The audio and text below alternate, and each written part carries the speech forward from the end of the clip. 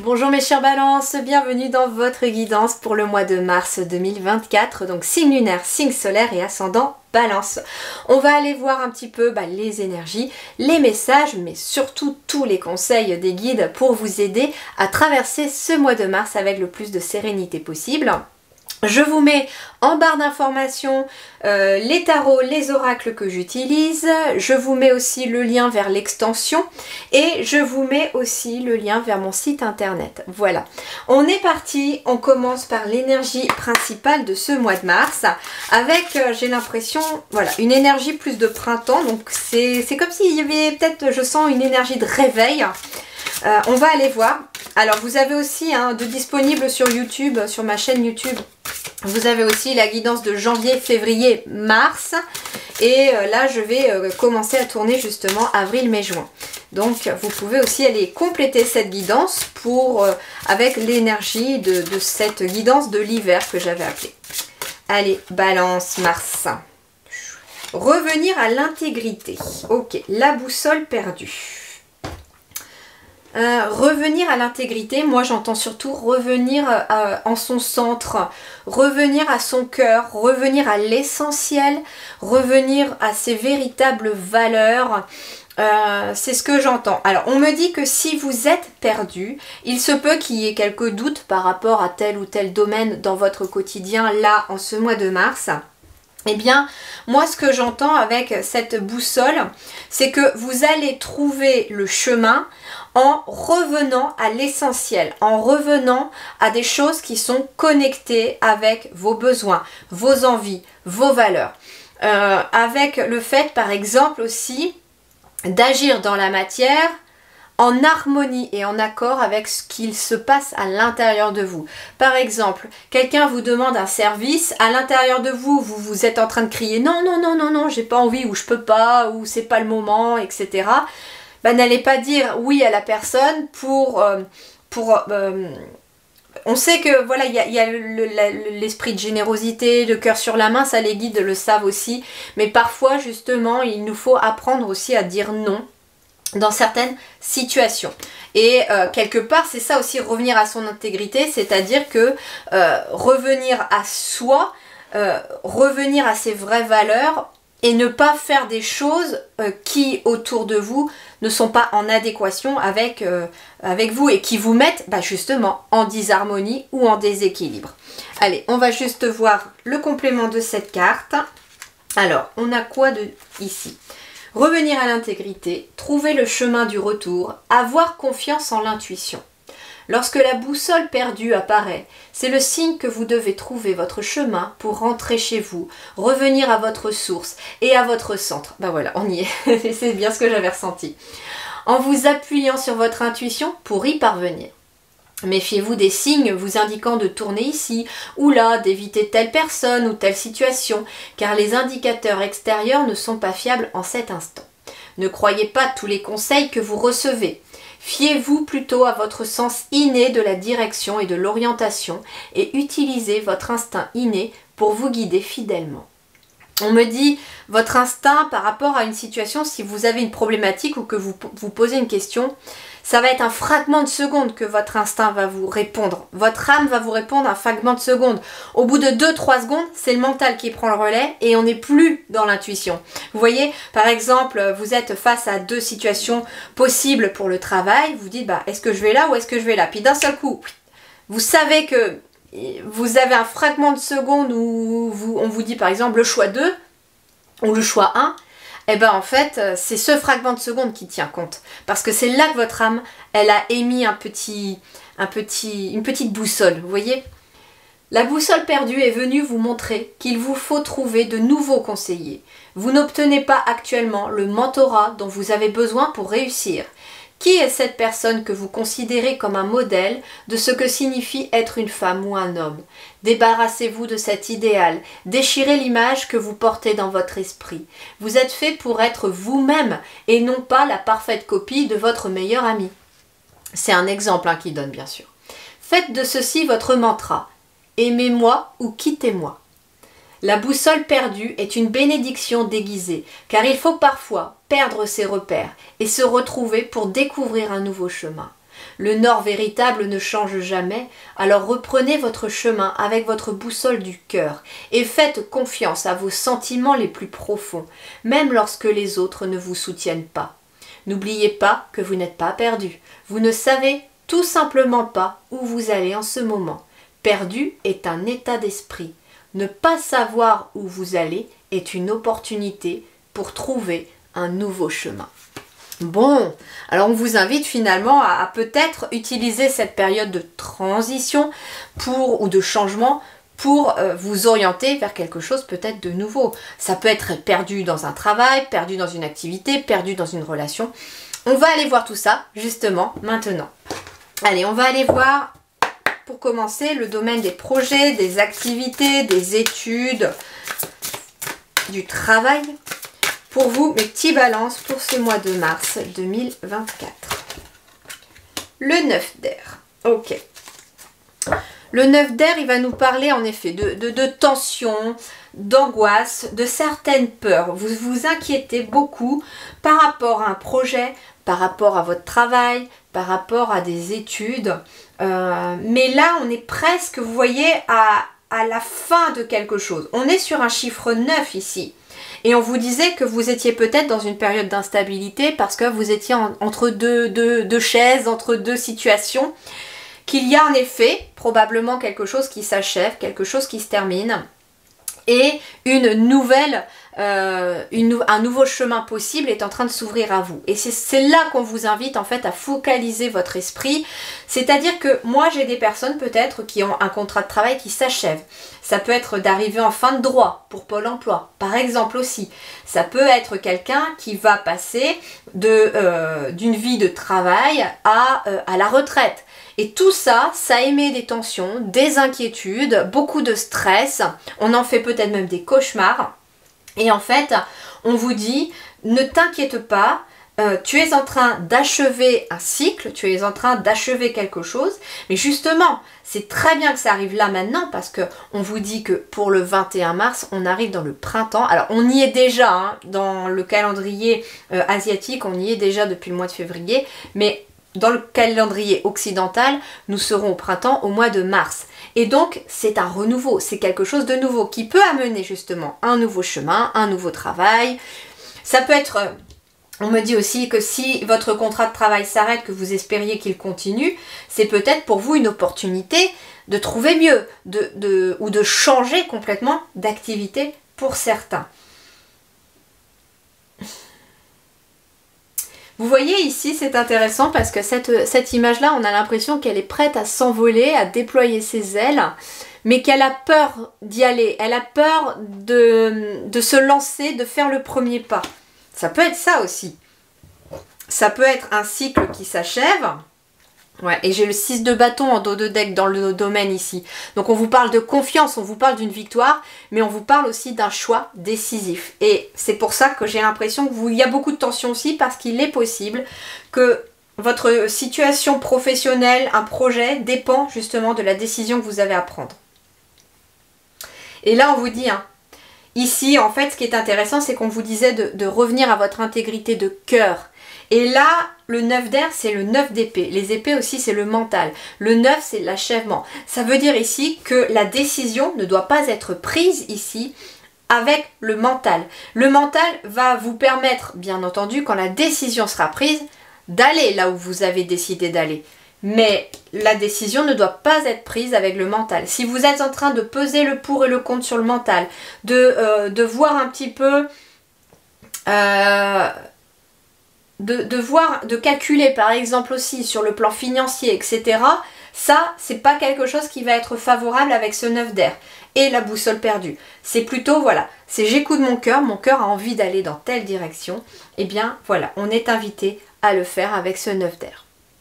Pour d'autres, ce qui peut être intéressant aussi, c'est qu'il peut être une, ça peut être une notion de remords, de quelque chose que vous n'avez pas fait, euh, que vous auriez aimé faire. Alors ça peut être quelqu'un tout simplement qui a des remords par rapport à, euh, Dis remords, mais moi je ressens plutôt l'énergie du regret. C'est-à-dire que ça peut être quelqu'un qui, euh, étant enfant, rêvait peut-être de faire telle ou telle activité, tel ou tel métier, et regrette aujourd'hui d'être arrivé à ce stade et de ne pas l'avoir fait encore. Sauf que là, on vous dit, si votre cœur vous en reparle, si votre enfant intérieur vous en reparle, c'est que probablement ça peut être une piste aussi pour vous lancer dans quelque chose. Et qu'il n'est jamais trop tard pour réaliser ses rêves d'enfant. Ok, on va aller voir sur le plan financier et matériel pour vous mes chers balances. Mars. Transformation. Transformation, chiffre 13, arcane sans nom. Donc on est ici sur la carte de l'arcane sans nom, la carte de la mort, mais justement, il y a quelque chose qui s'achève sur le plan matériel et financier. Ça peut être en effet, euh, ici vous voyez, on était sur des tensions, des inquiétudes, euh, du stress. Peut-être que vous vous inquiétez aussi parce que vous arrivez en fin de droit Pôle emploi donc forcément sur le financier, on s'inquiète un peu parce que ça va, ça va s'achever, euh, il n'y aura plus d'indemnité. Sauf que là, on vous dit ne t'inquiète pas, tu vis une période de transformation, bah, peut-être qu'en effet, il y a la possibilité d'un nouveau chemin, d'un nouveau contrat qui arrive derrière. Ça peut être aussi la fin des inquiétudes aussi dans la matière par rapport à du stress qui est causé aussi par rapport à un projet ou par rapport au travail. Ensuite, ce que l'on me dit aussi, c'est que ça peut être la fin des galères financières tout simplement également parce que euh, il y a une réelle transformation et tout à l'heure je vous disais qu'il y avait aussi une victoire, une reconnaissance derrière. Donc il y, a, il y a quelque chose en effet qui est en train de changer dans votre domaine professionnel ou dans votre domaine d'activité ou dans un projet, mais justement, on, y arrive. Alors j'entends ici, on est sur les projets avec le 9 d'air, on est sur les transformations. Peut-être qu'il y a quelqu'un aussi qui ressent beaucoup de stress, d'angoisse, peut-être des tensions ou des insomnies parce qu'on réfléchit beaucoup. Il y a, là, il y a beaucoup de mental. Hein. Il y a beaucoup de mental, on réfléchit beaucoup peut-être à par rapport euh, à, un bien immobilier, j'entends transformation, vous êtes peut-être en train de rénover une maison, rénover un appartement, et euh, vous cogitez beaucoup la nuit parce que vous rêvez au plan, vous rêvez euh, aux matériaux, vous rêvez au est-ce qu'il va venir faire la construction, est-ce que voilà, etc., etc. Et du coup ça prend un peu la tête. Vous êtes même peut-être même en train de construire une maison c'est tout à fait possible. Et donc, bah, il y a un peu d'insomnie parce que c'est un projet quand même de grande envergure, j'entends, un projet d'une vie aussi, qui, voilà, qui demande beaucoup de tension. Mais là, on vous dit, lâche prise, lâche, tout va bien se passer, tu es guidé vers la bonne direction, tes anges et tes guides te, guident et, veillent sur toi dans cette situation-là. Euh, ce que l'on me dit aussi, c'est que là on est sur le plan donc matériel financier, mais aussi vos propres ressources. Et vous avez une grande capacité, ici les balances, de transformation intérieure, de transmutation. Ici, vous voyez, j'ai une enfant et j'ai un phénix. Alors, c'est marrant parce que je vous parlais d'un rêve d'enfant tout à l'heure et qu'il n'était jamais trop tard de le faire renaître de ses cendres, peut-être ce rêve d'enfant. Bah là, on a l'enfant et on a le phénix. Donc ça veut dire aussi que intérieurement, vous avez aussi une grande capacité à transmuter quelque chose. Il est possible aussi que ce soit quelque chose qui vous perturbe en lien avec votre enfance et qui refait surface. Mais là, on a l'arcane sans nom et la transformation, ce qui veut dire que vous allez être amené en ce mois de mars peut-être aussi à transmuter un souvenir peut-être difficile, douloureux, peut-être euh, un remords, un regret, qui est en lien avec vos rêves d'enfant. C'est tout à fait possible. Pour prendre justement une nouvelle direction, plus liée avec le cœur. Ok. Allez, on va aller voir maintenant sur le domaine relationnel pour vous, mes balances, pour ce mois de mars. Deux de feu, ok. Alors, c'est intéressant, on a un 2, donc on peut être en effet sur une relation. Alors, je ressens plusieurs choses. Sur le plan amoureux, il peut être question d'une relation amoureuse, bien entendu, vers lequel votre cœur vous amène. Et puis justement, la transmutation, ça peut être quelque chose en lien avec votre passé aussi, qu'il fallait euh, libérer pour pouvoir vous libérer dans une nouvelle relation. Deux de feu, nouvelle relation plutôt passionnée, je dirais, avec cette énergie de de feu, ce feu qui se réactive. Ça peut être un couple aussi qui euh, rallume le feu parce que justement on fait des transformations dans sa vie quotidienne. Peut-être qu'il y a une forme de de surexcitation quelque part pour des couples qui ont des projets, qui, sont en train de, mettre en place des projets et euh, c'est quelque chose qui galvanise et qui vraiment vous porte et amène beaucoup d'enthousiasme dans votre quotidien. Il peut être question que vous soyez célibataire ou que vous soyez en couple, qu'il y ait une décision aussi avec ce 2 de feu à prendre par rapport à quelque chose qui, par rapport au relationnel. Alors, ça peut être un couple qui a une décision à prendre, très clairement. En fait, comme il y a des projets, il y a des transformations, vous avez des décisions à prendre peut-être ensemble. Pour quelqu'un qui est célibataire, ça peut être aussi une décision à prendre par rapport à une éventuelle relation qui est en train d'arriver dans votre vie. C'est bah, est-ce que je rentre dans cette relation ou est-ce que finalement je reste sur ma peur et je n'ose pas y aller? Hein C'est ce qu'on vous dit aussi. Euh, ce que l'on vous dit également, la décision, c'est que ça peut être une décision de transformation aussi par rapport à une relation, euh, de rester ou de partir en lien avec une relation. Elle n'est pas forcément amoureuse, ça peut être quitter un partenariat professionnel, ça peut être euh, quitter une relation amicale que vous pensiez amicale mais qui ne l'est peut-être pas vraiment. Justement, avec le 9 d'air, on fait beaucoup de cauchemars, il y a beaucoup de tensions aussi peut-être par rapport à ça. Euh, deux de feu, qu'est-ce qu'on me dit d'autre? On me dit... Ouais, on me dit qu'il y a quand même une prise de décision qui est réfléchie. Donc ça fait, ça fait un moment que vous y pensez peut-être. Et là, bah, là, avec la boussole, on est dans le fait de prendre une décision, très clairement, et on choisit un chemin plutôt qu'un autre. Avec le 2 de bâton, aussi 2 de feu, c'est une notion de planifier les choses. Donc en effet, si vous avez des projets avec quelqu'un, c'est peut-être aussi le mois idéal pour planifier ce projet. Euh, par exemple, vous planifiez un voyage avec votre partenaire ou avec un ami. Eh bien, il va être question de, voir bah, par quelle agence de voyage je passe. Est-ce que déjà je passe par une, agence de voyage? Ou bien est-ce qu'est-ce que je vais aller visiter? Où est-ce qu'on va manger? Où est-ce qu'on va loger? Etc. Voilà, on peut être sur planifier quelque chose aussi en lien avec quelqu'un. Ça peut être euh, planifié aussi déjà les vacances d'été. Peut-être que vous avez envie de faire quelque chose avec des amis, avec un partenaire euh, ou avec votre famille et euh, vous planifiez en effet peut-être les vacances d'été déjà. C'est tout à fait possible. On est à la bonne période pour le faire de toute façon pour beaucoup d'entre nous. Ok, alors j'entends aussi le mot dynamique créatrice ici.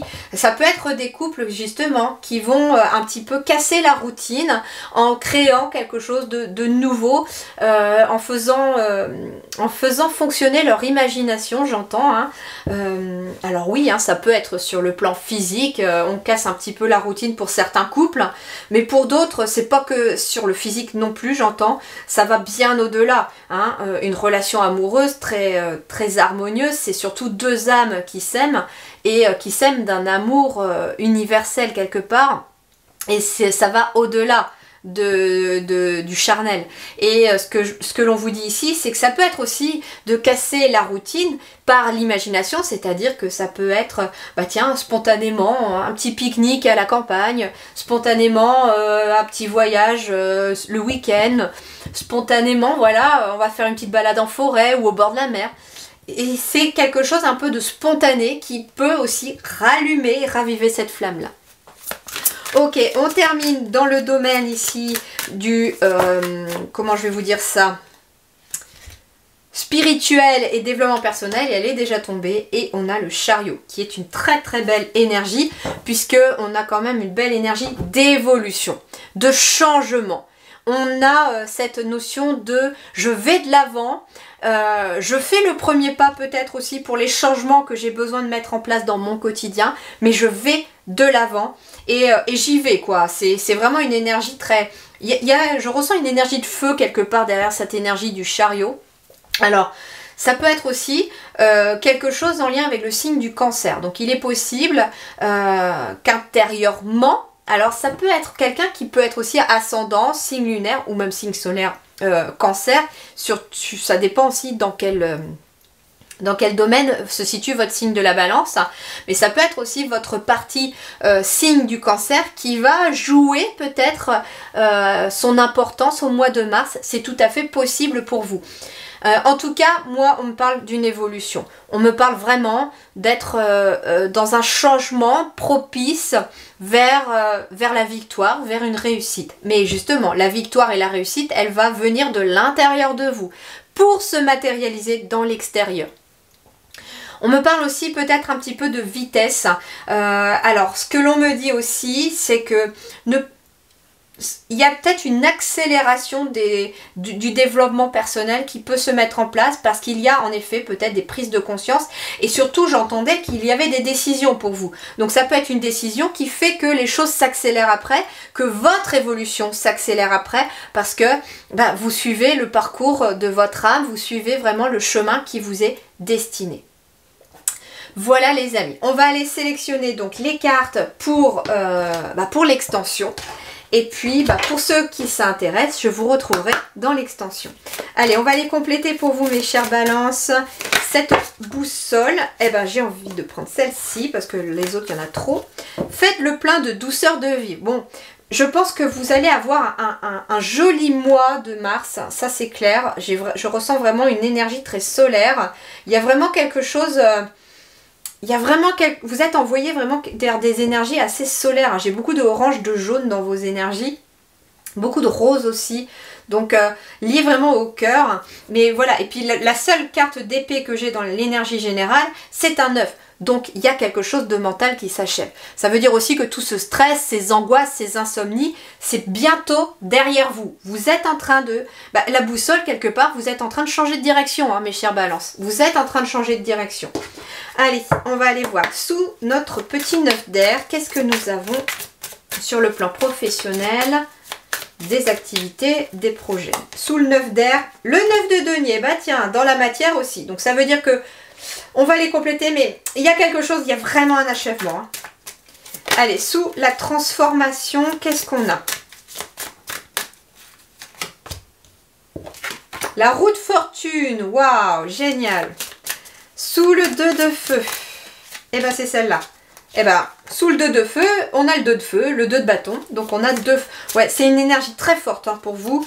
Le relationnel, il va être important ce mois de mars. Allez, sous le chariot, 8 de bâton. Génial. Et on termine par deux petites cartes supplémentaires. Euh... Eh non, j'ai envie de faire différemment aujourd'hui.